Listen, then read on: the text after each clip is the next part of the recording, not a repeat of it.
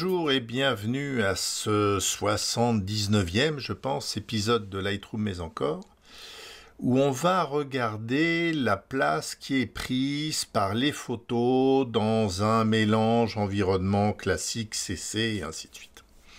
Parce que vous avez 20 gigas à votre disposition, euh, mais qu'est-ce qui prend de la place dans ces 20 gigas?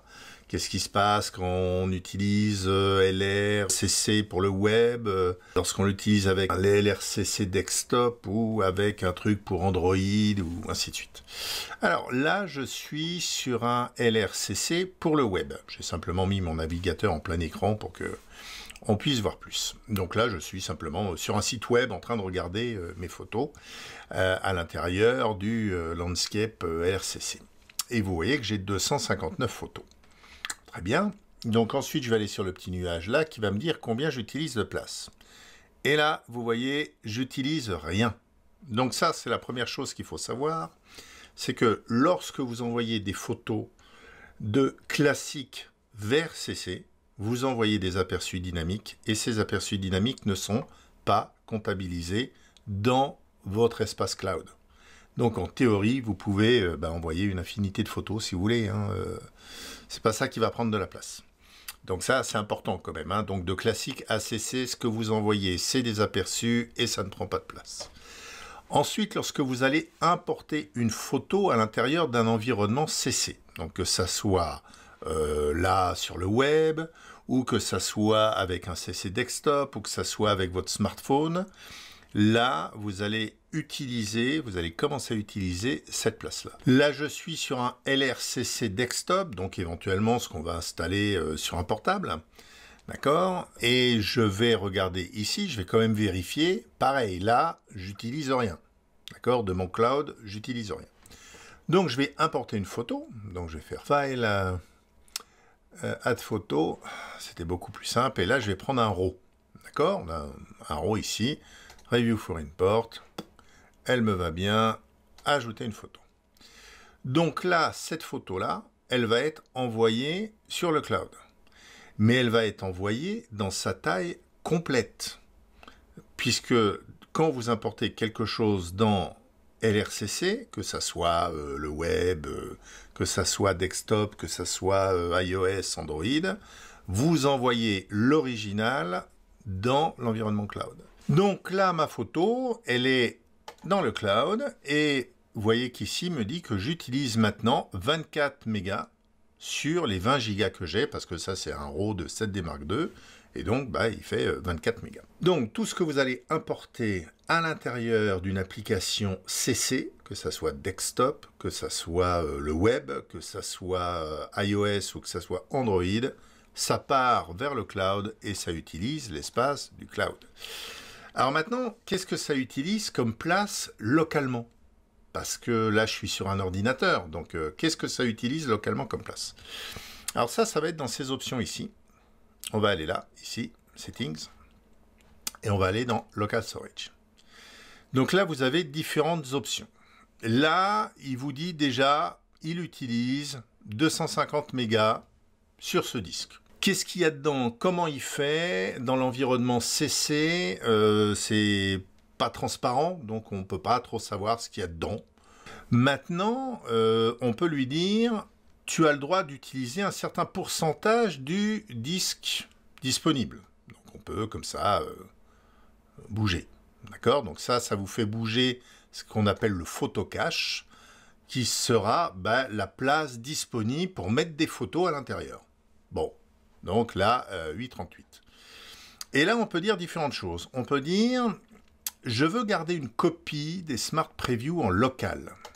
Donc si vous faites ça, vous voyez que le chiffre là, il est à 249. Et si vous faites ça, vous voyez qu'il passe à 777. Quand vous faites ça, ça va vous rapatrier en local. Donc là, on est sur CC Desktop, hein, parce que ça ne va pas être pareil pour le web. Mais en CC Desktop, ça va vous rapatrier en local les aperçus dynamiques, et donc vous pourrez travailler tandis que vous n'aurez plus de réseau. Donc ça, c'est assez intéressant. Et ensuite, vous avez une autre qui est Store Copy of All Original. Donc ça, ça veut dire, je veux pas que les aperçus dynamiques, je veux aussi les originaux. D'accord? Alors, vous voyez, aperçus dynamiques plus originaux. Donc là, si je prends que les originaux, il me demande quand même 11 gigas ce coup-ci. Donc ce qui est normal, puisqu'il y a 242 photos. Donc ça, ça vous permet de décider comment vous allez garder vos photos localement sur LRCC Desktop. Et là, il y a un petit malin au fond qui est en train de me dire, mais attends, euh, les originaux, ils sont pas sur le cloud. De toute façon, ils viennent de classique. C'est tout à fait vrai. Donc ça, je vous propose qu'on aille vérifier après euh, comment ça se passe. Mais là, pour l'instant, on va rester dans le mode normal. Et on va voir ce qu'on peut justement exporter maintenant comme photo euh, en fonction de ce qu'on a décidé, d'où ça vient, ou ce genre de choses. Cette photo-là, c'est une originale que j'ai chargée à l'intérieur de LRCC Desktop. Donc LRCC l'a probablement mis dans son cache, puisque pour l'instant il a de la place dans son cache. Quand LRCC n'aura plus de place dans son cache, il va virer des choses dont il n'a pas besoin. D'accord? Donc là, par exemple, là il peut, il l'a, il n'y a pas de souci. Et cette photo est aussi allée ici dans le cloud. D'accord Les 25 mégas. Maintenant, si je prends cette photo et que je veux l'exporter, File, et je veux faire Save To, et que je dis JPEG euh, Full Size, d'accord Save. Donc là, il me sauve la photo, et je vais aller voir la photo dans le répertoire C Temp.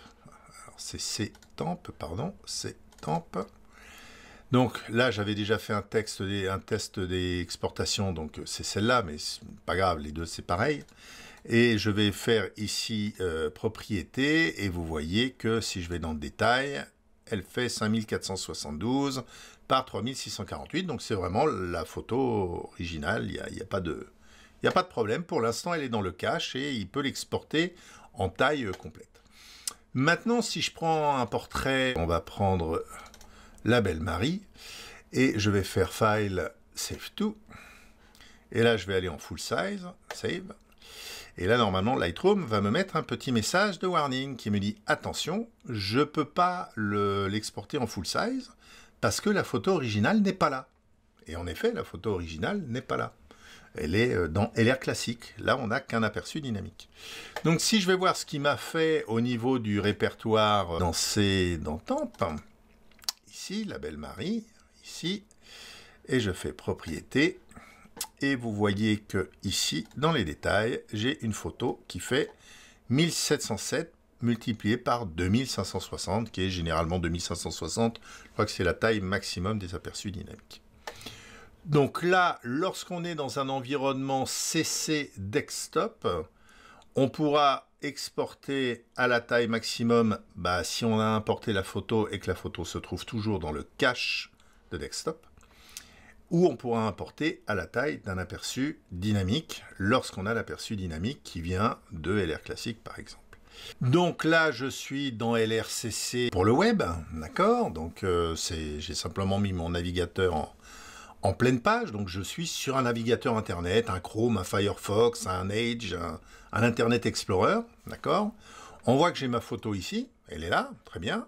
Cette photo-là, je peux la voir, je peux zoomer dedans, pas de souci, et je peux télécharger cette photo, d'accord? Et si je télécharge cette photo, il me propose de télécharger l'original ou un JPEG, et il me propose de le télécharger à taille maximum, puisque cette photo, elle est dans le cloud, il la connaît, il a l'original, il peut la télécharger à taille maximum, ça ne pose aucun problème. Je peux même récupérer le CR2 si je veux. Maintenant, si je prends une autre photo qui, elle, n'a pas été importée dans un environnement CC, euh, on va prendre euh, Ségolène, et euh, ici, si je fais télécharger, ici, il me propose uniquement une version, on va dire simplifiée, 2048 par 1365. Alors là, c'est même pas, euh, même pas l'aperçu dynamique puisque j'arrivais à faire mieux euh, en étant en LRCC desktop. Mais là, sur le web, s'il n'a pas l'original, il va se limiter à 2048. Alors là, je suis sur le web, donc j'ai pas de problématique d'occupation de place disque. Euh, là, j'utilise directement l'espace qui est ici. Hein. Et là, vous voyez que comme avant, il me dit il y a 24 mégas sur 20 gigas utilisés, puisque cette photo-là, ici, celle-là, elle a été importée dans un environnement CC.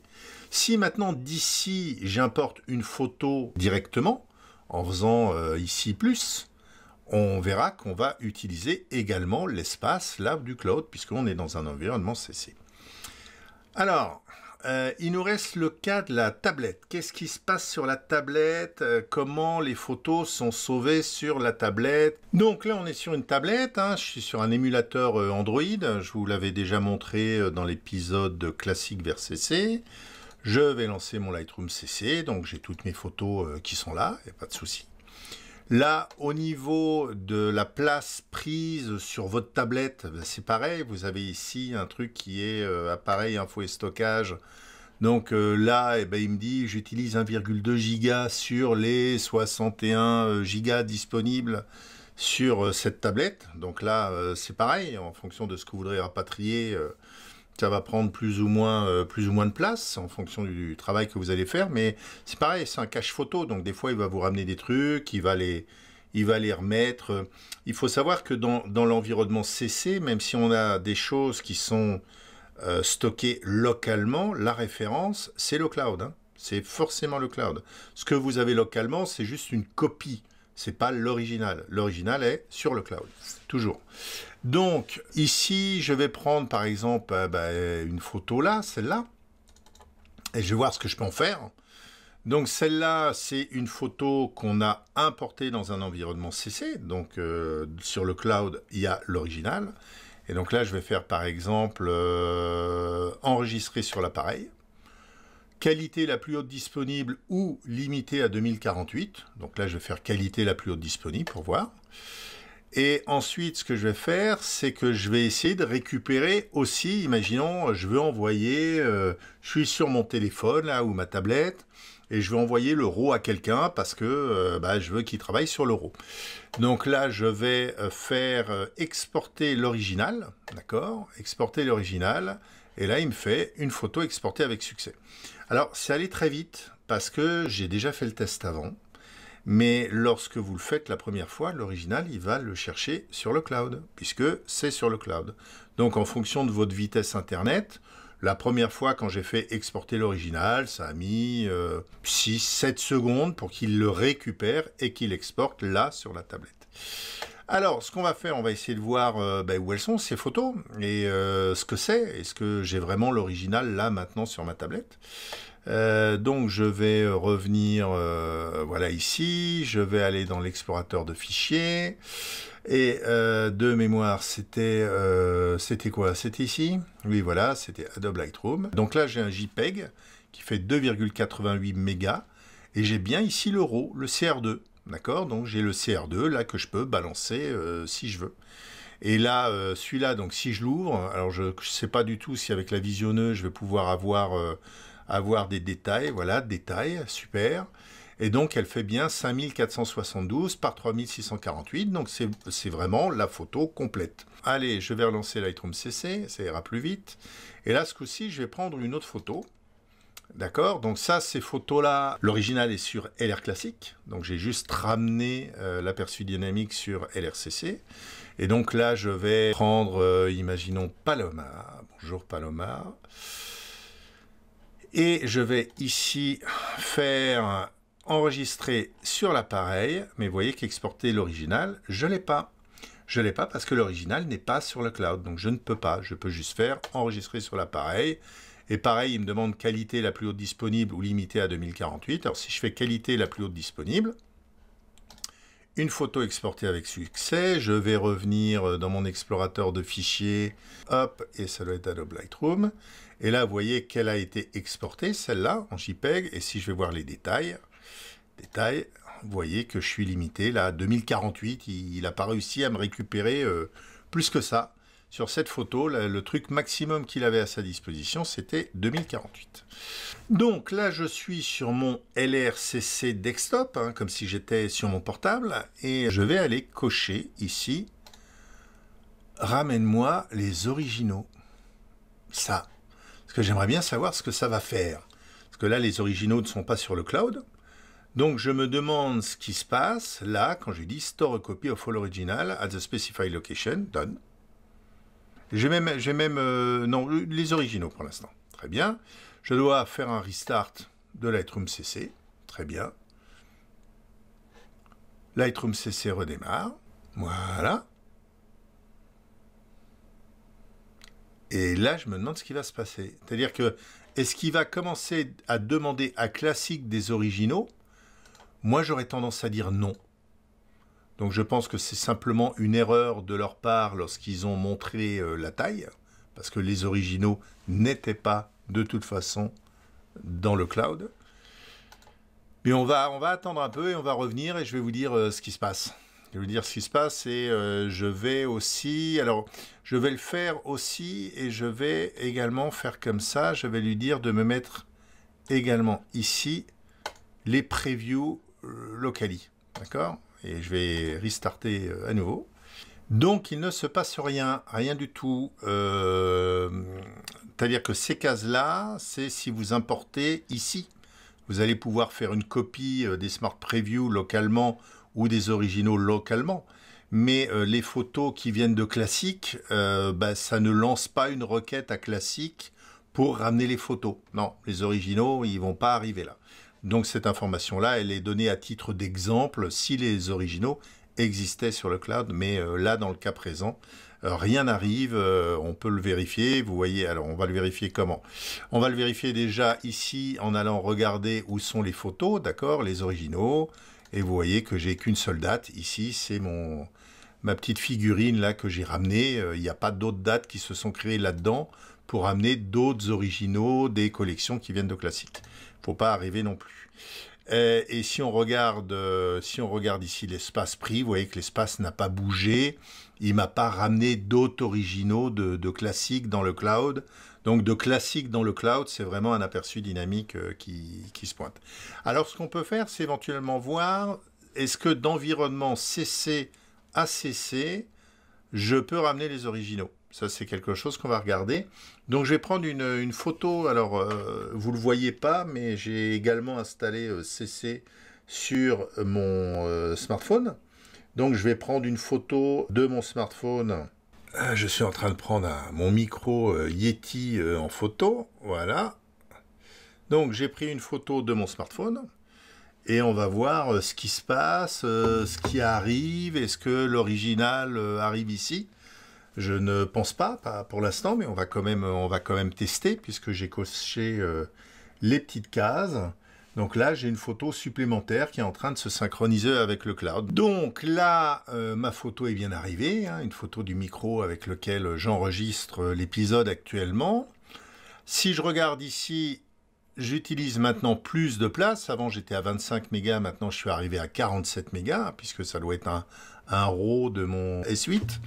Samsung. Et euh, maintenant, je vais aller voir est-ce que l'original est arrivé? Parce que je vous rappelle que l'idée, c'était de voir si je clique ici, euh, Local Storage, et garder les originaux localement et les aperçus dynamiques localement, est-ce que ça me ramène les photos euh, là sur mon desktop CC On a vu que les photos qui venaient de Lightroom classique, non, ça ne le fait pas. Mais on va voir est-ce que ça le fait pour les photos que j'ai importées d'autres appareils CC. Eh bien écoutez, on va aller voir ici. Voilà, 2018. Euh, et là, avant, je n'avais qu'un seul répertoire avec euh, ma petite figurine. Et vous voyez que maintenant, j'ai un deuxième répertoire. Et dedans, j'ai un DNG qui vient de mon euh, smartphone.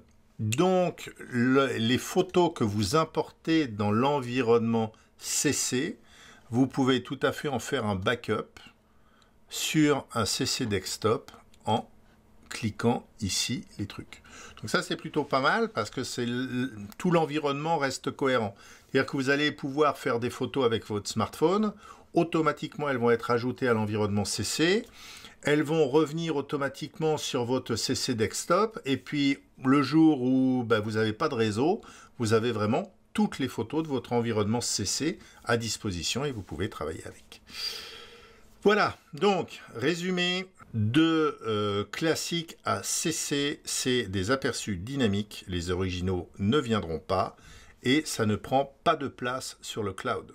Ce qui prend de la place sur le cloud, c'est qu'on importe une photo dans une application CC, LRCC, desktop, web ou euh, Android, iOS Et si dans LR Desktop vous cochez une de ces deux cases ou les deux, eh ben, les originaux et les aperçus dynamiques vont rester sur l'ordinateur où vous êtes. Ce qui a été pris avec d'autres euh, applications comme un smartphone, ça va revenir aussi et ça vous permettra de travailler hors ligne.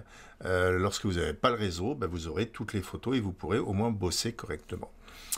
Voilà, j'espère que ça éclaircit quelques points. Il y en a encore d'autres à éclaircir, hein, mais euh, là maintenant, euh, ça devrait être clair, j'espère pour vous, sur l'espace de stockage, ce qui est utilisé, où, comment, par qui. Voilà, merci, au revoir.